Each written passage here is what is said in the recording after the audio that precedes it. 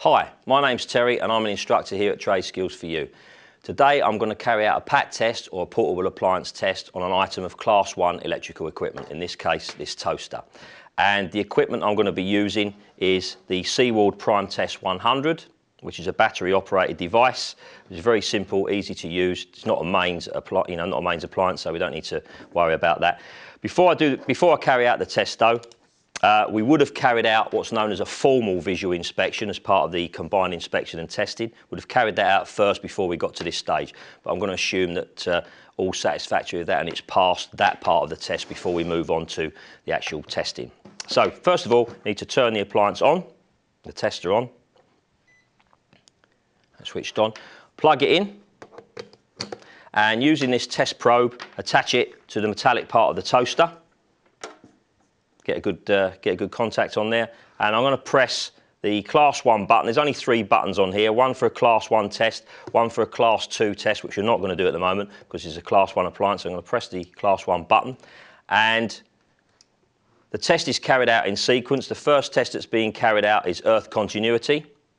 The second reading that we're going to get is for insulation resistance and the third reading is an I leak or load leak test.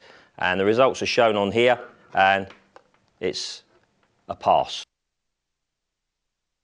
So when we've completed our test, the last thing that we need to do is fill out our records.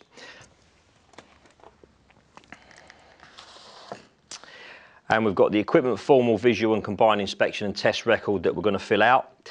I've got the IET code of practice there that gives me um, my frequency of inspection and test. So I'm going to fill it out with the, uh, the results that I've got on my PAT tester. Right, so after we've carried out the test, the last thing we need to do is fill out the equipment register and record our results. Um, I'm using the IET uh, code of practice here.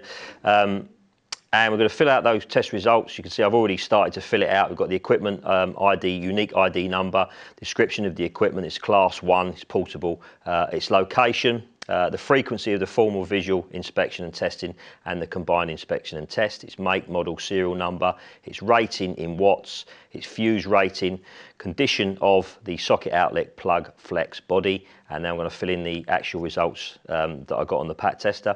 So the continuity figure was 0.08 ohms, the insulation resistance was greater than 19.99 megohms, polarity was okay, uh, function was okay, it worked, and this one we're going to put not applicable there. Is it suitable for the environment? Yes or no? Yes, it is. Any other comments that we might wish to make?